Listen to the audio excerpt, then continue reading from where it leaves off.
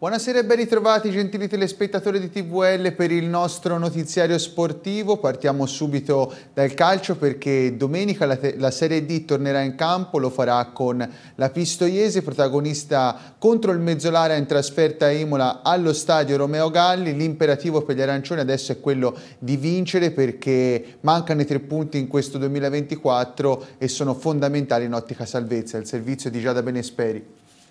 In Serie D si torna a giocare, domenica per la Pistoiese c'è un impegno importante, cruciale, forse fondamentale anche per il futuro in chiave salvezza, la trasferta contro il Mezzolara. Sicuramente partita fondamentale per eh, cercare di raggiungere il nostro obiettivo che sappiamo che è la salvezza ed è uno scontro diretto in cui non abbiamo alternativa se non quella di fare punti. Questa sosta è servita? Sì, molto è servita da un punto di vista atletico per alzare un, un po' il livello dei ragazzi che come sappiamo era un po' basso ed è servito a fare gruppo, a fare delle scelte importanti all'interno del gruppo e quindi abbiamo un pochino scremato il, il numero dei giocatori. In quanto a formazione che scenderà dal primo minuto in campo, ci sono ancora dei dubbi, ancora qualcosa da valutare? Sì, dobbiamo valutare Pertici che ha subito una distorsione martedì, oggi è rientrato in gruppo che è un pochino da valutare e qualche pedina in fase difensiva a livello della difesa, però in grandi linee è fatta. Che Pistoiese ci vorrà per affrontare questo Mezzolara, per battere questo Mezzolara? Penultima in classifica del girone D, affamata di punti ovviamente. Ci vuole secondo me la solita Pistoiese che abbiamo visto a San Marino, che abbiamo visto a Carpi, che abbiamo visto con la San Maurese, soprattutto nell'approccio. Ovviamente dobbiamo limitare i nostri errori o blackout eh, a livello difensivo, perché non abbiamo altro che la possibilità di fare punti, dobbiamo farli per forza, speriamo. Domenica è vietato sbagliare perché servono veramente tre punti. Sì, senza dubbio eh, servono i tre punti, come servirebbe anche un solo punto a questo punto de della situazione nostra. Eh, ci serve muovere la classifica per il morale dei ragazzi, ci dobbiamo riuscire. Come hanno lavorato in questi giorni anche con delle vicissitudini a livello societario che si sono smosse? Eh, abbiamo lavorato bene e siamo stati bravi a estranearci da tutto il contesto che purtroppo c'è e c'era anche prima che, che, arrivassero tutti i ragazzi. Sicuramente un pochino destabilizzano tutte queste notizie perché coinvolgono tutti. Eh, per noi siamo qui per far campo e per cercare di salvarci sul campo le questioni societarie però purtroppo non dipendono da noi anche se siamo coinvolti. Pistoiese Mezzolara, anzi Mezzolara Pistoiese che sarà in diretta proprio su TVL canale 14 domenica alle 14.30 eh, adesso però dal calcio ci spostiamo al basket perché sì, si sono concluse le final eight per Estra Pistoia, però eh, TVL era presente, ha incontrato tanti personaggi importanti del mondo della palla a spicchi, andiamo a sentire insieme le loro parole proprio riguardo ai biancorossi. Pistoia decisamente è la sorpresa dell'anno, ambire uno scudetto, dicevo ieri in un'intervista, è difficile per Pistoia così come per Napoli, però questa è un'opportunità un'occasione, essendo partite secche, di poter, come dicevo prima, vincere un, un, trofeo importante. Non sorpreso perché comunque è stata programmata con serietà questa, la strutturazione della squadra per questo nuovo approccio, la società ha mostrato di essere pronta per questo salto di categoria, il mio Nicola non, non ha bisogno di, eh, di, mie parole per dimostrare nella sua carriera quello, no, la sua grande qualità.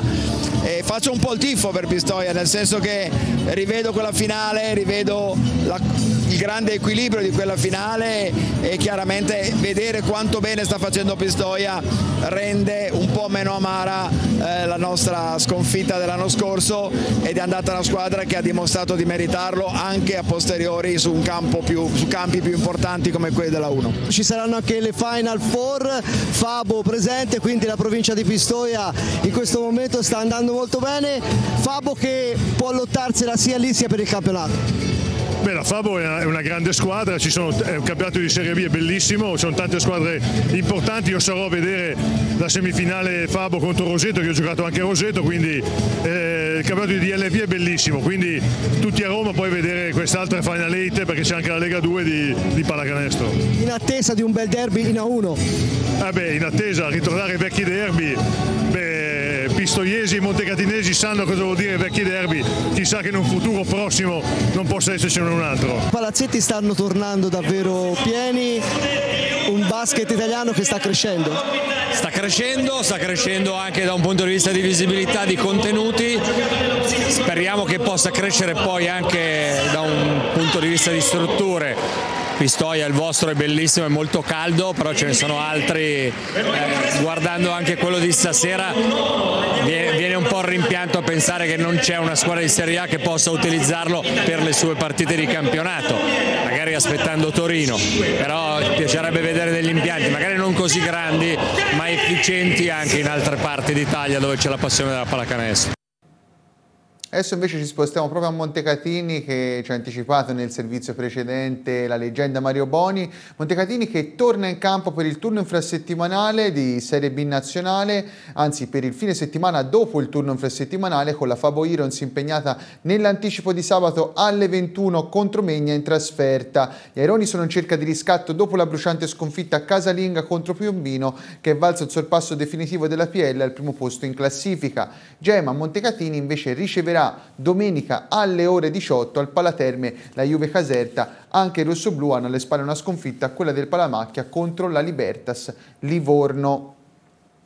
Il team Coratec Vini Fantini è pronto per la prima gara UCI World Tour dell'anno, la UEI Tour negli Emirati Arabi che si svolgerà dal 19 al 25 febbraio, un cronometro, due arrivi in salita e quattro chance per le ruote veloci attendono il tram diretto da Serge Parzani e Marco Zamparella che verrà capitanato per quanto riguarda gli arrivi di gruppo da Jakub Marcesco. In squadra Attilio Viviani e Samuele Zambelli mentre Andri Ponomar e Alessandro Alessandro Monaco e Marco Murgano proveranno a dire la loro per dei buoni piazzamenti nelle frazioni più complicate. A chiudere la sezione il britannico Mark Stewart, doppio impegno anche in Francia, dove il team diretto da Francesco Frassi affronterà la Classic Vare seguita dalle due giorni del Tour des Alpines Maritimes. Nicolò Bonifazzi e Christian Sbaragli saranno i corridori più rappresentativi al via in una selezione che li vede al fianco dei più giovani Matteo Amella, Antoine De Bons, Alessandro Iacchi, Simone Olivero e Etienne Van Empel.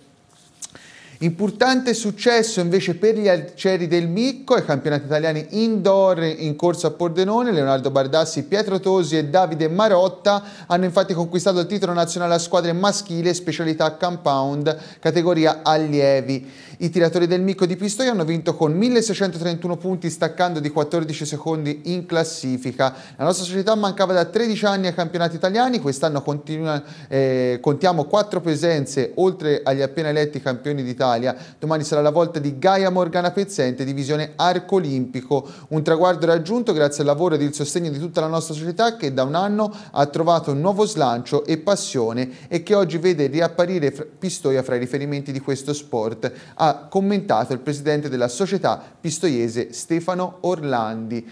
E con questa notizia che riguarda il tiro con l'arco è tutto per quanto riguarda la pagina sportiva, noi vi lasciamo alle ultimissime di cronaca e vi auguriamo una buona serata.